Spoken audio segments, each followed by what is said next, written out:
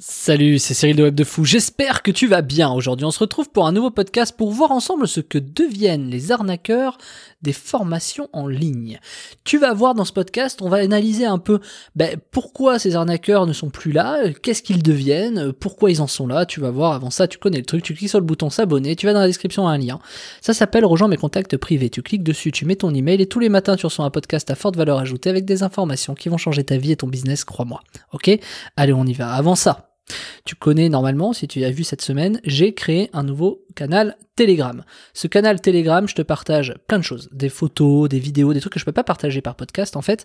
Et je t'ai, je t'ai préparé vraiment un canal Telegram où on va pouvoir un peu échanger, je vais proposer des choses, je vais, je vais un peu interagir à certains sujets. Je vais te partager donc des photos, euh, tu vas avoir des screenshots, des idées de business, des trucs de R&D. Je vais, te partager énormément de choses, des listes, des documents. Bon, bref, tu vas voir, il y a plein de choses. Et ça qui est bien avec Telegram, je peux te partager beaucoup de choses. Donc vraiment, je t'invite à, te à me rejoindre dessus. Tu cliques, tu, si t'as pas Telegram, bah tu le télécharges. Tu vas c'est hyper simple, hein, c'est hyper facile. C'est comme WhatsApp. C'est aussi simple que WhatsApp pour s'inscrire. Et euh, bah tu peux me retrouver là-bas avec du contenu unique que tu ne verras nulle part ailleurs. Allez, on y va pour le podcast. Bon, on a tous connu ces mecs. Tu sais, tu, je, peux pas donner de nom, là, celle-là, je vais pas aller les, défoncer, mais voilà. Il y a des mecs qui ont arnaqué, ils sont arrivés, ils ont vu, ils ont dit cool, et ils sont barrés. Et il y en a des très connus, hein. il y en a, euh, on pense peut-être pas forcément au même d'ailleurs, moi je dis ça, mais il y en a euh, qui ont été très très bons. Moi le premier, j'ai été affilié en 2014-2015 à des mecs qui aujourd'hui euh, sont plus là, tu vois, sont plus là et qui étaient pour moi des gens qui étaient bons, tu vois, de, base. Ils ont été très bons, mais c'est un peu comme le pouvoir du côté obscur, c'est-à-dire que derrière, à un moment donné, à force de te servir du côté obscur, bah tu, tu, tu te retrouves un peu dans le caca, quoi. Donc c'est un peu ça. Donc que deviennent ces gens-là? Qu'est-ce qui se passe après? Euh, Tu vois, je pas si c'est une question que t'es déjà posée, on les voit plus trop dans le, dans le truc. Alors il y en a qui changent de nom, tu vois, j'ai trouvé ça rigolo, il y en a un particulièrement. Il y en a qui changent de nom, voilà, ils changent juste de nom, du coup tu peux plus les retrouver aussi facilement, etc. Mais le problème, c'est que bon, tu connais leur gueule, quoi. Donc il y en a qui se remettent à me faire des choses. Tu vois, moi demain, imagine, euh, je peux pas refaire de podcast, je peux pas faire de vidéo, tu connais ma voix, quoi. Donc ça, c'est quand même un peu compliqué.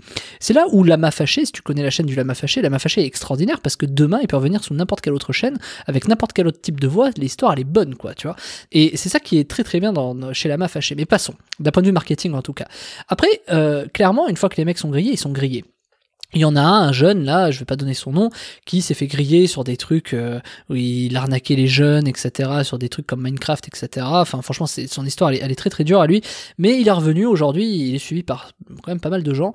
Et, euh, et ce mec est un gros arnaqueur, tu vois, typiquement. Alors, t'en as qui se reconvertissent, un coup ils montent leur gueule, un coup ils la montrent pas, un coup ça peut être des pages. Finalement, je vais te dire un truc, je connais aujourd'hui des mecs qui étaient euh, des formateurs, qui aujourd'hui ne sont plus des formateurs, qui sont vraiment des gros escrocs. Alors, je les connais pas personnellement personnellement. Mais par contre, je les ai suivis parce que j'arrive à repister les gens de manière assez précise. Et ces mecs-là, aujourd'hui, qu'est-ce qu'ils font? Ben, Ils ont envahi de, produits en fait. En fait, leur thune aujourd'hui, elle est sur des revenus passifs. Ils sont passés pour d'autres personnes et, euh, ils balancent des produits à tout va, quoi. Tu vois, et c'est là le dropshipping, par exemple, est vraiment bien, par exemple, pour, les types d'arnaqueurs. C'est pour ça que c'est une niche d'arnaqueurs aussi, le dropshipping. Attention à pas confondre que le dropshipping est une arnaque, c'est pas ça. C'est qu'il y en a, vu que t'es caché derrière un site web, derrière un nom, derrière un nom de, que finalement tu connais pas les personnes et que t'as pas donné ta voix, ta vidéo, etc., bah, tu te retrouves euh, à finalement pouvoir faire énormément de boutiques différentes, énormément de proposer énormément de produits. Et derrière, tu sais pas forcément si la personne, bah, elle existe ou pas, tu vois. Donc c'est ça, se cacher en fait derrière un site web. Ça, t'en fais pas au fur et à mesure des années. Les gens, ils vont se faire avoir. Hein. Je veux dire, à un moment donné, on va repister tout le monde. Ça commence déjà sur Facebook. Tu peux plus être anonyme sur Twitter, machin. T'inquiète, t'inquiète pas. Ça va commencer gentiment arriver. Il va y avoir des règles qui vont se mettre en place, des lois, tout ça. Ça va venir tranquillement, gentiment. Les choses mettent toujours un peu de temps, mais ça arrive tôt ou tard. Et donc, que sont devenus ces gens, ces, ces arnaqueurs? Alors, j'en connais qui aujourd'hui font beaucoup d'affiliations. Avec l'audience qu'ils ont eue, ils ont réussi à les mettre haute part, à balancer l'audience d'une autre façon, et euh, réussi à, faire... le pire, je crois, le truc le plus, le plus dingue que j'ai vu, accroche-toi, je vais te le dire, c'est un mec qui a pris son pote, qui a dit ouais, fais-toi passer pour un affilié, en gros, il proposait le produit de son pote en affiliation, sauf que c'était le même gars qui prenait ça. Donc je vais, je te l'explique. Formateur A, ami A. Le formateur A dit, hey, je t'invite, j'ai invité un mec que je connais, euh, regarde, euh, ah, son produit il est trop bien ami A. Ah, là, là, là, regarde et tout. Alors qu'ils se connaissent dans la vie, c'est son pote, ça se trouve, son cousin, son frère, tu vois. Alors là, pour, en l'occurrence, dans l'histoire que je connais, c'était son pote. Et il a dit, c'est pas con, hein, il a dit, ouais, c'est un mec qui fait du bon travail, un machin, je voulais te le présenter, machin. Il l'a affiché. Et euh, ce qui est assez extraordinaire derrière, c'est que du coup, bah, les gens sont partis euh, acheter le produit de l'ami A. Donc, le formateur A a pris entre guillemets une com, ça c'est l'histoire réelle, sauf qu'en fait c'était le produit du formateur A, et que l'ami A on l'a plus jamais revu, parce qu'il n'existait pas en fait, c'était pour faire genre de vendre un truc en affiliation. Pourquoi?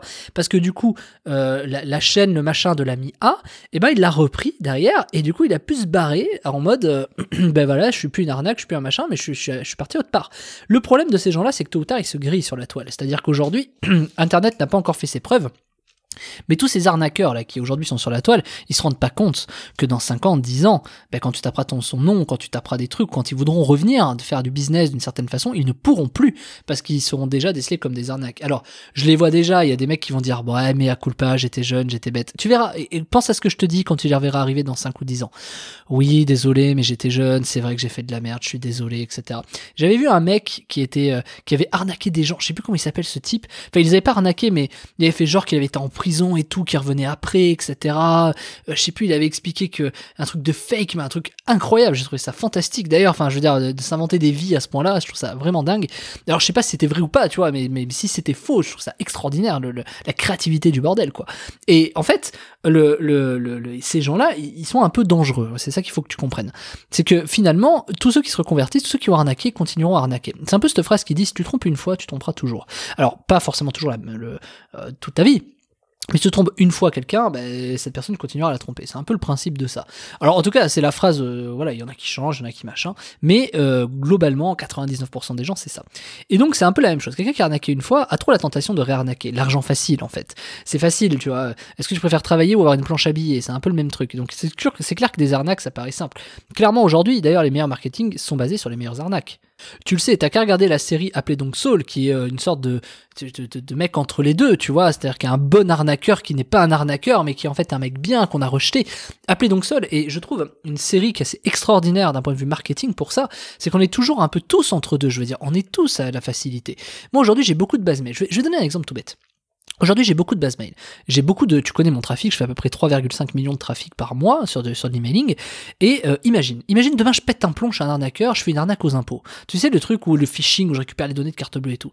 Factuellement, c'est possible. Factuellement, c'est possible. Je, je sais qu'il y a des gens qui les laisseront. Maintenant, euh, il faut pas le faire. Tu vois, enfin, il faut absolument pas le faire. Imagine, t'as des gens comme ça, l'argent facile, un truc comme ça. C'est sûr que ça ferait beaucoup plus d'argent, mais t'imagines derrière. T'imagines faire chier les gens, euh, les, les, les, les, faire défoncer, qui peut-être ils sont à la rue, peut-être ils sont, tu vois, peut-être ils ont du mal à finir les fins de mois, etc.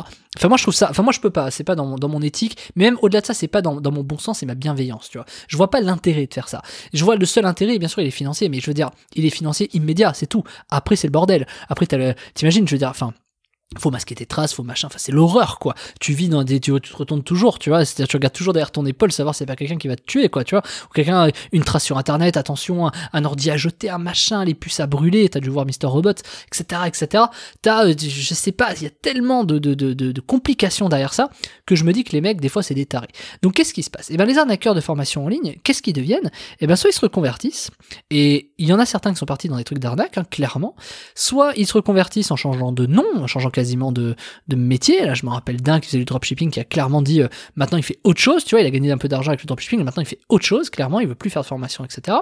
Il a lancé un, un autre système. D'ailleurs, il y a des gens qui le suivent, pourquoi pas. Euh, je crois qu'il avait renommé sa chaîne, etc. Ou je sais plus ce qu'il a fait. Il y en a, il y en a d'autres, ils font euh, des chaînes, euh, par exemple, ils passent le relais à une chaîne, j'ai déjà vu ça. C'est-à-dire que par exemple, ils revendent leur chaîne, mais ils restent en gros, si tu veux, comme une actionnaire de leur chaîne. Et il X% de revenus pour avoir fait décoller la chaîne à un moment donné, par exemple. Et donc du coup, tu as une autre personne qui prend le relais de la chaîne et qui s'en sert, tu vois. Alors t'en as qui, font ça. D'ailleurs, il y a des trucs qui sont extraordinaires sur ce genre de sujet. J'ai vu une chaîne récemment qui avait plus de 200 000 d'abonnés, qui sort une vidéo qui fait 1000 vues en fait. Et ça, ça je trouve c'est hyper parlant, hyper parlant avec tout ça, c'est que euh, c'est facile d'acheter une chaîne de 100 000 abonnés aujourd'hui. Franchement, c'est facile, ça vaut 10, 15 000 balles. Euh, si tu fais de l'argent à côté, c'est facile de l'acheter. Boum, tout de suite, t'imagines la preuve sociale. Ah, j'ai 100 000 abonnés.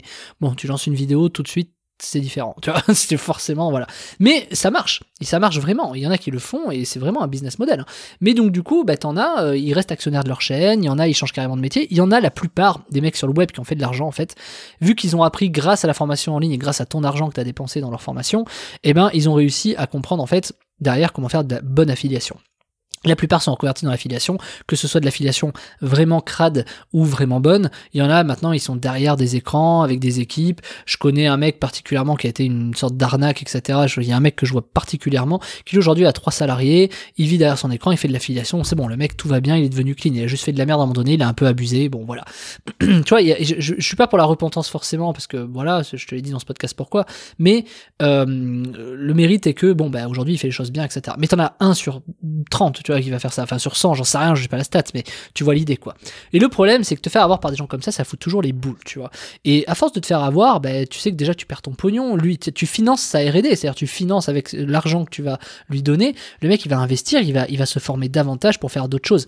Et ça, c'est dur, tu vois, parce que toi, tu essaies de te former et en fait, tu le payes à se former, le mec. Tu vois, c'est horrible, c'est horrible, tu vois, quand il pense. Mais en fait, ce qui te manque, c'est une méthode. Ce qui te manque, c'est un process. Ce qui te manque, c'est de savoir comment déceler justement ces, arnaques, comment déceler des formations en ligne, tu vois. Et c'est justement moi ce que je t'ai préparé cette semaine. J'ai préparé une formation qui s'appelle Comment déceler une formation arnaque. La méthode, c'est ce que moi j'ai utilisé pour déceler qui étaient des arnaques, pourquoi et comment. Comment je fais aujourd'hui pour plus me faire avoir par des euh, par des formations arnaques, tu vois. Je t'apprends à faire exactement la même chose. C'est une méthode qui est unique. Hein, c'est celle que moi j'ai développée, qui m'appartient à moi-même. Personne ne viendra me, la chourer celle-là. Demain, si jamais t'as quelqu'un qui la choure, d'ailleurs, tu sauras qu'elle vient d'ici, tu vois. Donc je suis le seul à proposer une formation sur ça. Tu vas regarder, t'as trois conseils sur YouTube. Je vais regarder avant de faire cette formation, j'allais voir ce que disaient les gens pour déceler des arnaques et tout. C'est de la merde ce qu'ils disent. Franchement, la plupart, c'est bien, enfin, pourquoi pas, mais c'est pas ça. Moi, je te propose un vrai process, une vraie méthode d'analyse, un vrai truc pertinent pour, pour analyser et te dire, ok, ça c'est une arnaque ou ça, ça en est pas. Ou tiens, cette formation elle me correspond, celle-là me correspond pas. Lui, je sais que si j'achète, je vais être déçu ou lui non. Je vais te montrer tout ça. Je t'ai préparé la formation, ça s'appelle Comment déceler une formation arnaque. Tu vas voir, je t'ai mis un prix accessible à beaucoup de personnes. J'ai mis vraiment un prix parce que je sais que moi je suis une tranche de prix qui est toujours un interstice entre le trop cher pour le particulier et pas assez cher pour le professionnel. Je, là, j'ai vraiment baissé le prix et je me suis dit, vas-y, il faut qu'il y ait un maximum de gens y aient accès. Je te l'ai mis en description, ça s'appelle Comment décider une formation arnaque. Je te laisse, sors la CB, on se retrouve de l'autre côté, tu vas voir, c'est pas grand chose. Je te dis à tout de suite. Enfin, c'est pas grand chose euh, en prix, hein, j'entends, parce que la formation, elle dure une heure et demie quand même. Bon, bref, passons, tu vois. Même je me suis embrouillé en fin de podcast, passons. Allez, rejoins-moi de l'autre côté, je te, mets ta CB, à tout de suite.